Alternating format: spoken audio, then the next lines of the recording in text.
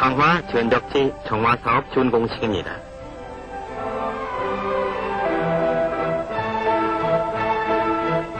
박 대통령은 이날 갑곶돈대에서 준공 테이프를 끊고 옛 모습 그대로 복원된 돈대 내부를 둘러봤습니다.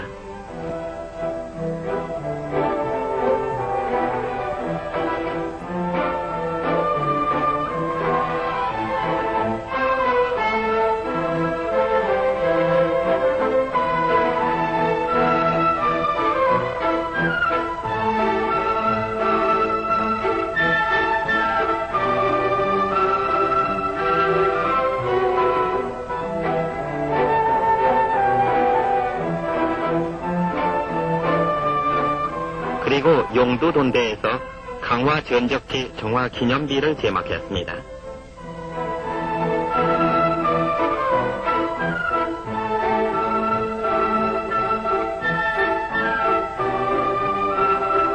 이어서 우리 장정들이 묻혀있는 순절묘단의 헌화 분양하고 병인양요 당시 600여 명 병사와 분전하다 전사한 어제연 장군 형제를 기리는 쌍충 비각을 돌아보고 이 비각 옆에 무명용사 순절비를 세우도록 지시했습니다.